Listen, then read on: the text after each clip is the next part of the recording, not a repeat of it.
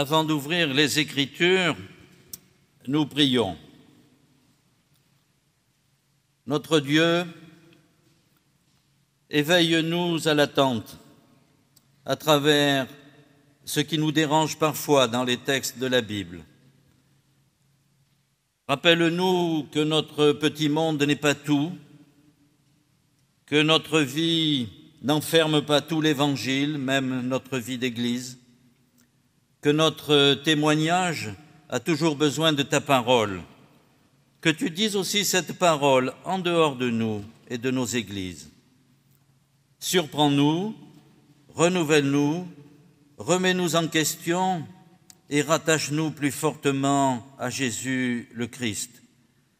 C'est en son nom que nous te le demandons au moment où nous écoutons les lectures bibliques. Amen.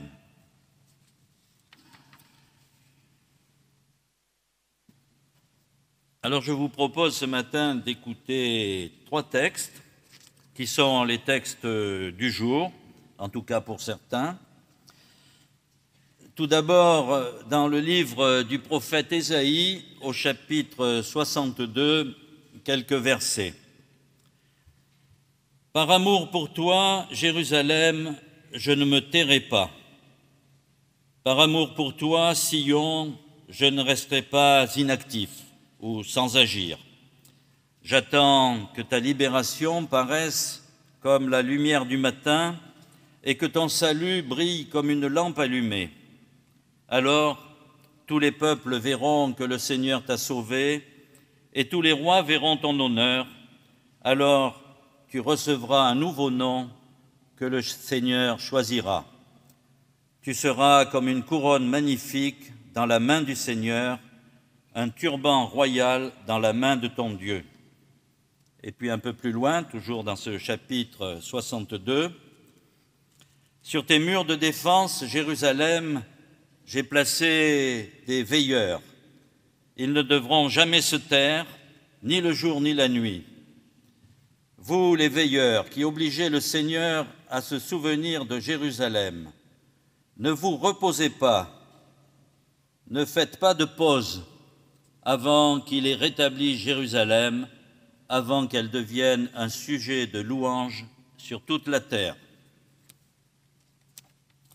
Ensuite, dans l'évangile de Jean, un épisode bien connu, au chapitre 2, il s'agit de ce qu'on a appelé le miracle de Cana. Le troisième jour, il y a un mariage dans la ville de Cana en Galilée. La mère de Jésus est là. On a aussi invité Jésus et ses disciples au mariage. À un moment, il n'y a plus de vin. Alors la mère de Jésus lui dit, Les gens n'ont plus de vin. Jésus lui répond, Mère, qu'est-ce que tu me veux? Ce n'est pas encore le moment pour moi, ce n'est pas l'heure. La mère de Jésus dit au serviteur, faites tout ce qu'il vous dira. Il y a là six grands récipients de pierre. Les Juifs se servent de l'eau qu'ils contiennent pour se rendre purs selon leurs coutumes. Dans chaque récipient, on peut mettre une centaine de litres. Jésus dit aux serviteurs, remplissez ces récipients avec de l'eau. Les serviteurs les remplissent jusqu'au bord. Jésus leur dit, maintenant, prenez de cette eau et apportez-la aux responsables du repas. Les serviteurs lui emportent. Le responsable du repas goûte l'eau qui est devenue du vin. Il ne sait pas où on a pris ce vin. Mais les serviteurs qui ont pris de l'eau dans les récipients le savent. Alors le responsable du repas appelle le marié et il lui dit Tout le monde sert d'abord le bon vin, et quand les invités ont beaucoup bu, on sert du vin moins bon. Mais toi, tu as gardé le bon vin jusqu'à maintenant. Et puis, comme troisième lecture, un autre texte bien connu, dans la première épître de Paul aux Corinthiens, au chapitre 12, sur les dons de l'Esprit. Frères et sœurs chrétiens, au sujet des dons de l'Esprit, je ne veux pas que vous restiez ignorants. Autrefois, vous ne connaissiez pas encore Dieu, Vous le savez, vous étiez entraînés vers les faux dieux qui ne parlent pas, vous ne pouviez pas leur résister. C'est pourquoi je veux vous faire savoir une chose. Si quelqu'un parle avec l'aide de l'Esprit de Dieu, il ne peut pas dire que Jésus soit maudit. Et sans l'aide de l'Esprit Saint, personne ne peut dire Jésus est le Seigneur. Oui, il y a des dons différents, mais c'est le même Esprit qui les donne. Il y a des façons de servir différentes, mais on sert le même Seigneur. Il y a des activités différentes, mais c'est le même Dieu qui les produit toutes en tous. Chacun reçoit le don de montrer la puissance de l'Esprit Saint, et cela pour le bien de tous. Seigneur, ta parole est la vérité, conduis-nous dans toute la vérité. Amen. Et je vous invite à vous lever pour chanter au cantique 338 les strophes 1 et 2. Au passage, j'ai choisi ce cantique parce que aujourd'hui, c'est aussi le dimanche au milieu de la semaine de prière pour l'unité. Donc, euh, ce cantique nous rappelle la nécessaire unité du monde et de nos églises.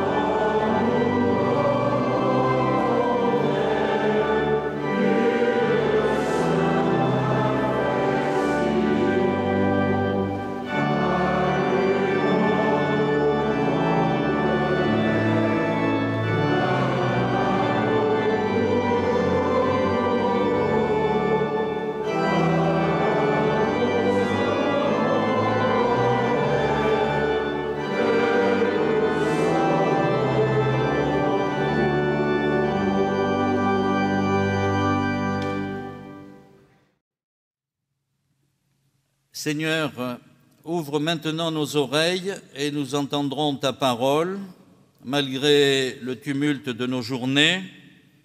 Ouvre nos yeux et nous verrons ta parole malgré les ténèbres de notre monde. Ouvre notre vie et nous accueillerons ta parole malgré la fragilité de notre foi. Ouvre notre cœur et nous vivrons ta parole malgré l'aridité de nos combats, et tu ouvriras nos lèvres pour que nous puissions dire ta parole partout où tu voudras qu'elle soit dite.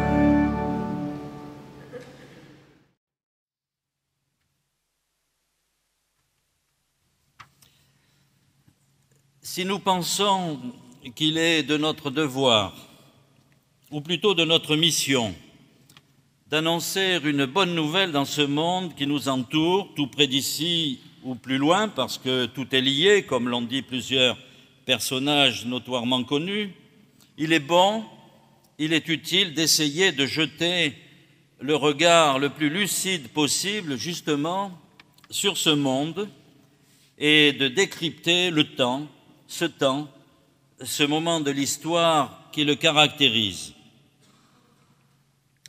Aussi, avant de commenter les textes que nous venons de lire, c'est à cet exercice que je voudrais vous convier et c'est ainsi que je reprendrai ici quelques formules, quelques analyses que les uns et les autres connaissent peut-être et que nous avons lues ou entendues dans nos organes d'information préférés ou nos lectures récentes.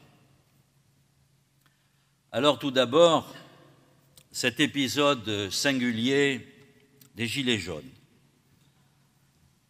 On a pu dire que c'était ceux qui jusque-là se taisaient, qui reprenaient la parole, ceux qui peut-être réfugiés dans l'abstentionnisme manifestaient bruyamment leur déception et même leur désespoir, ceux qui, loin d'être au bénéfice d'une mondialisation heureuse, estimaient en être les laissés pour compte, cette France périphérique, victime de cette nécessaire course à la performance individuelle pour garder la tête hors de l'eau, une course qui renforce les solitudes et désagrège le tissu social.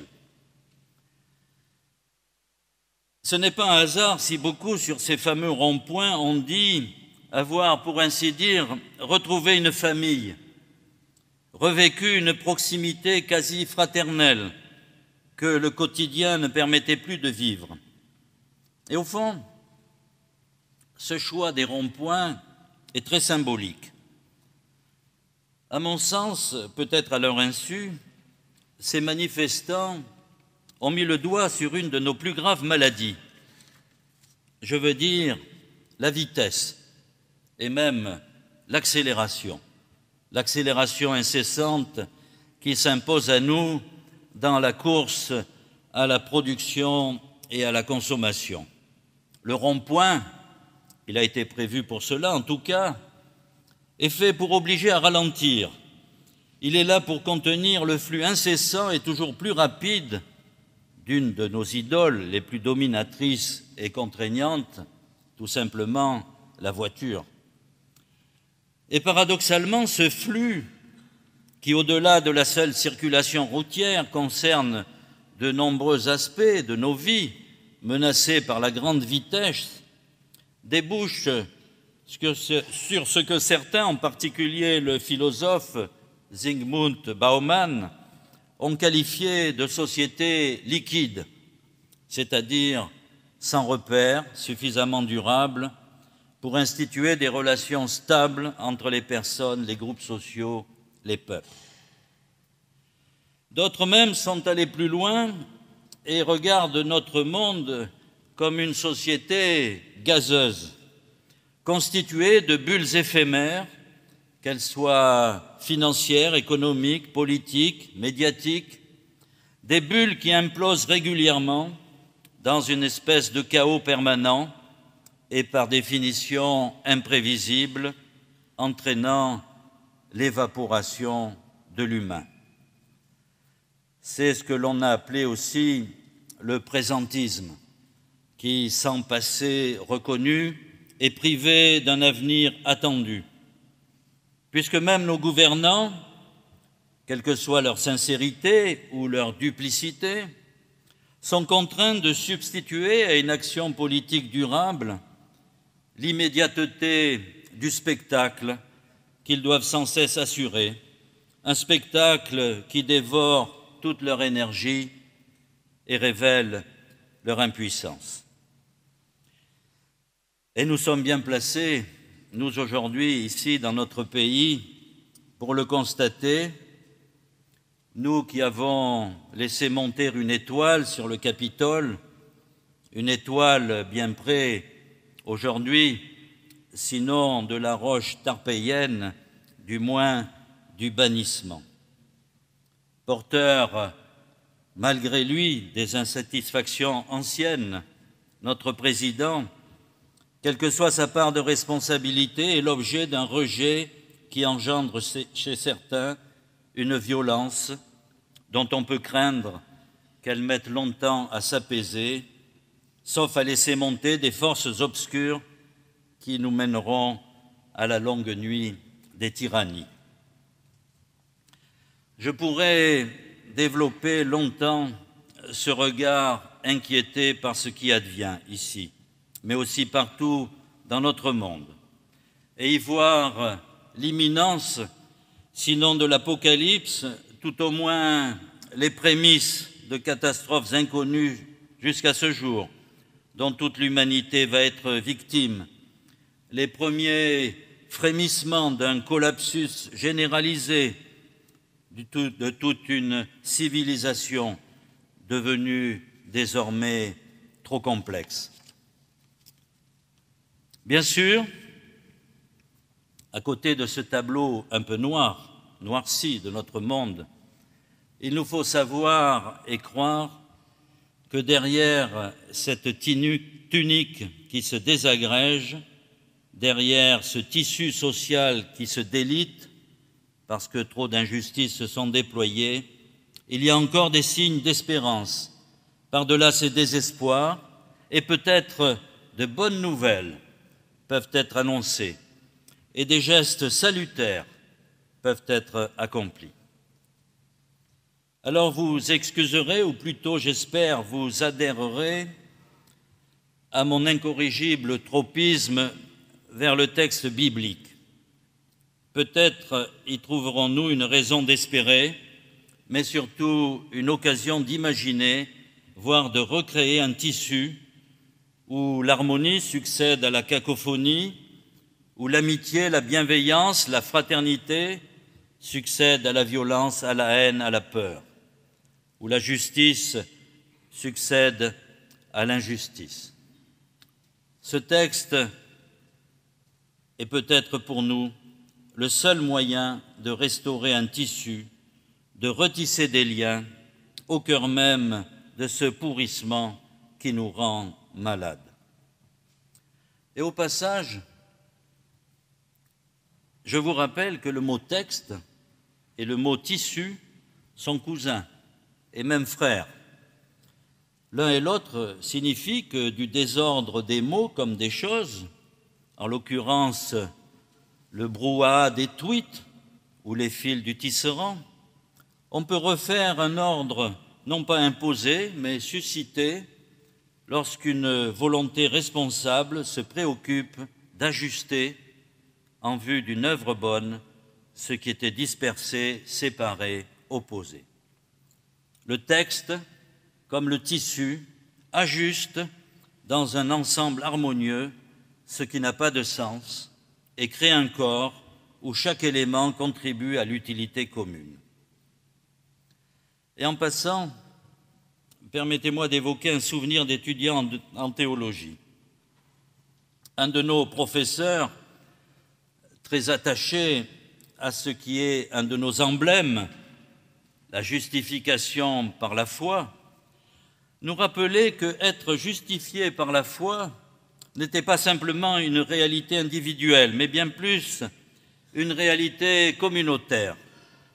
Par la foi, nous sommes ajustés les uns aux autres, établis dans une communion où les sorts individuels se conjuguent fraternellement et ainsi, en constituant un tissu fait de diversité, se fécondant mutuellement, devient signe d'espérance dans un monde menacé par le grand tohu-bohu de l'injustice insensée régnante qui a tout déréglé, désajusté. Ainsi, j'en viens maintenant à ce premier texte que nous avons lu dans Ésaïe. Je ne reviendrai pas sur le contexte historique de sa production, nous l'avons déjà évoqué ici. Je voudrais simplement en retenir quelques éléments qui, à mon avis, fournissent un premier socle à partir duquel nous pouvons nous orienter et qui déjà nous soutient dans un désir d'affirmer un sens au temps qui passe, par-delà les incertitudes et les peurs qui aujourd'hui nous figent dans des instants qui se succèdent dans un désordre incohérent les uns les autres, sans qu'on puisse en discerner une direction, sans qu'aucune issue ne semble se dessiner. Ésaïe nous dit ceci. Dans un temps sans futur, écrasé par l'immédiateté, c'était le cas, parce que refusant les leçons de l'histoire, il demeure une vérité solide sur laquelle on peut s'adosser, alors que tous réclament du changement, du neuf, et que tous d'ailleurs ne mettent pas la même chose sous ce changement attendu, il demeure, c'est le message d'Ésaïe, qu'il y aura toujours une parole pour dire que le meilleur est encore possible et que le pire est toujours évitable. Une parole agissante, une parole qui a été confiée à la créature du sixième jour pour que la vie soit non seulement bonne, mais très bonne pour tous.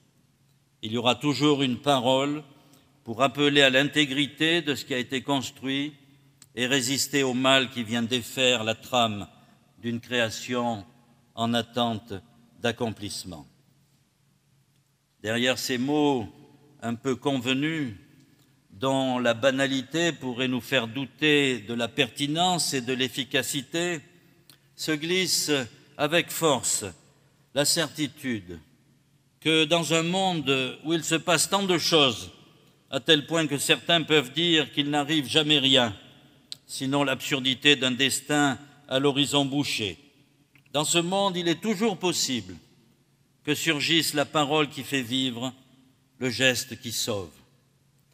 Je ne me tairai pas, dit le Dieu d'Ésaïe, je ne resterai pas inactif jusqu'à ce que la joie envahisse les corps et les cœurs.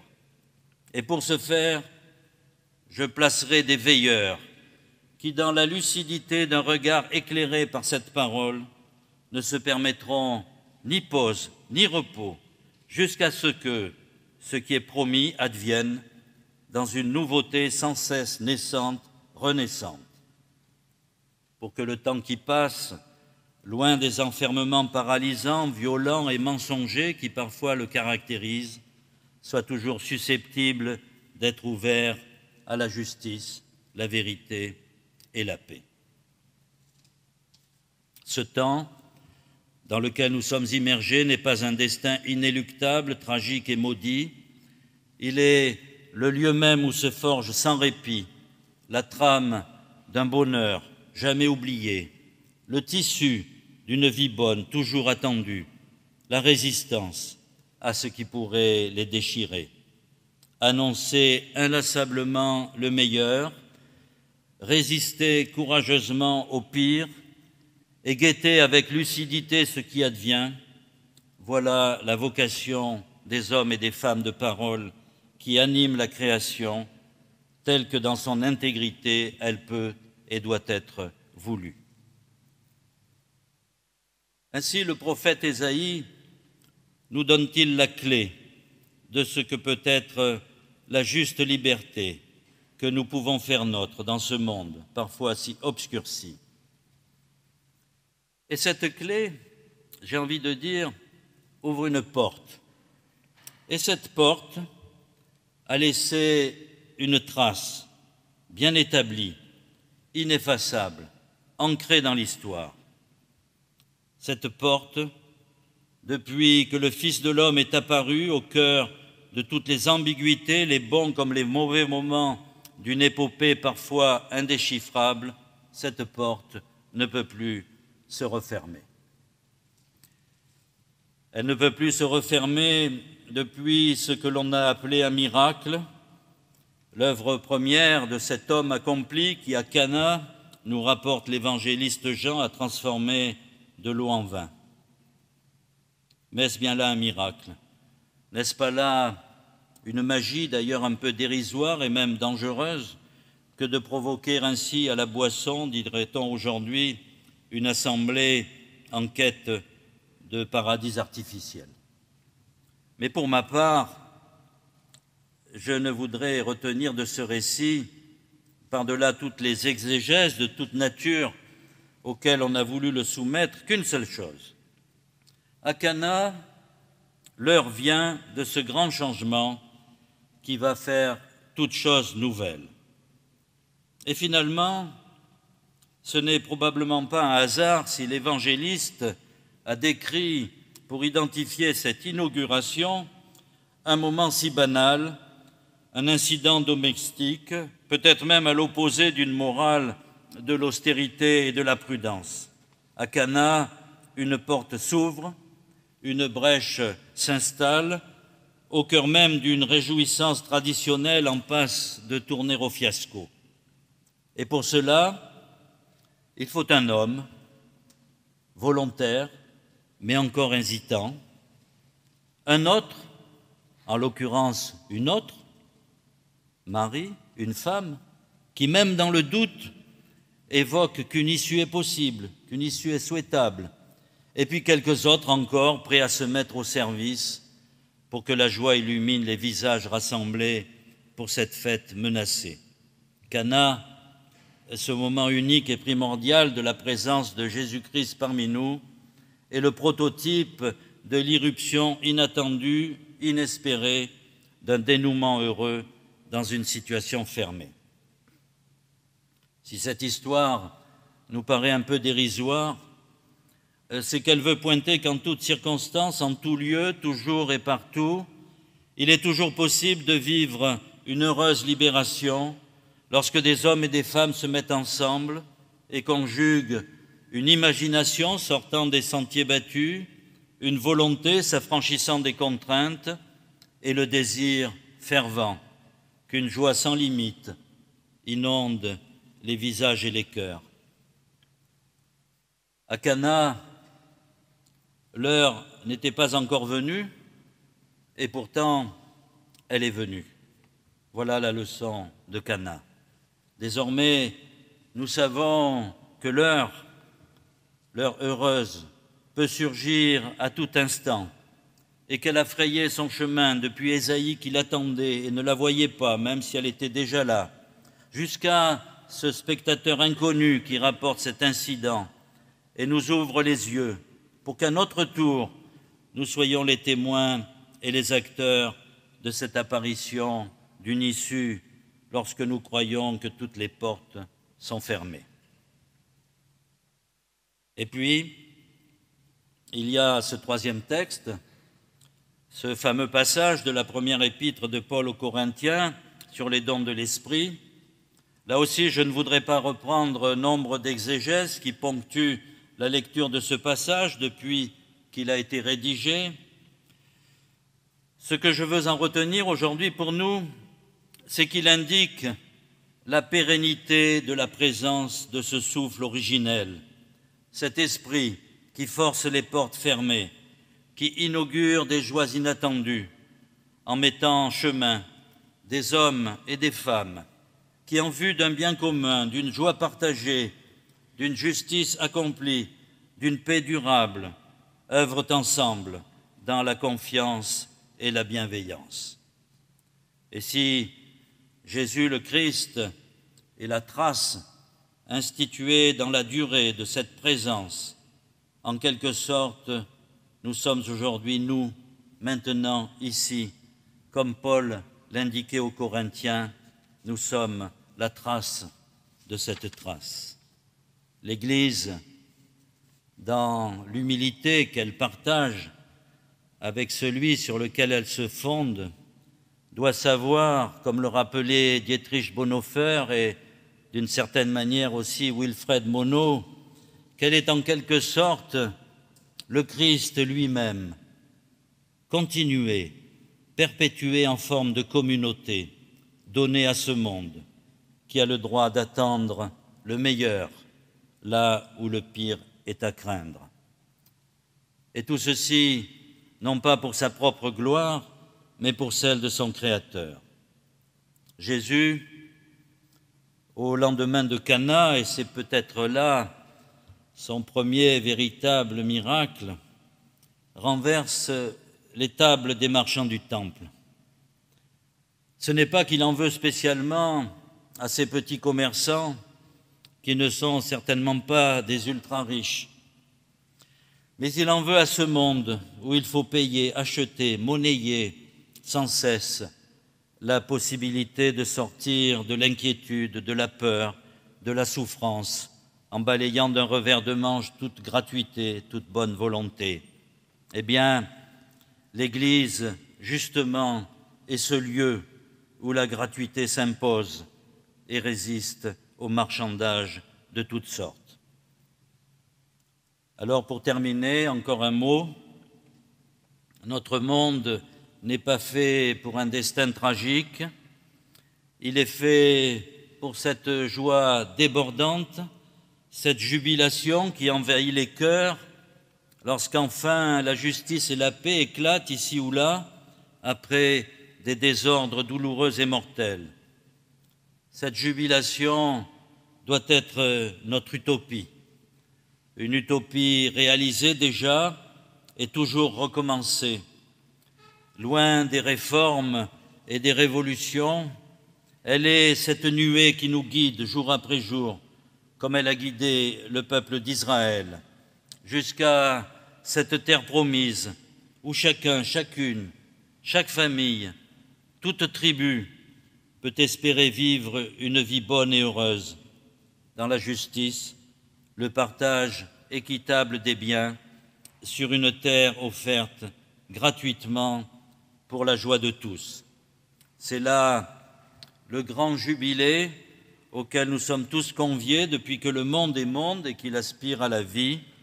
Alors, frères et sœurs, relevons la tête, notre mission ne fait que commencer. Nous sommes l'espérance de Dieu pour ce monde qu'il aime tant. Veillons à ce qu'il en soit ainsi. Amen.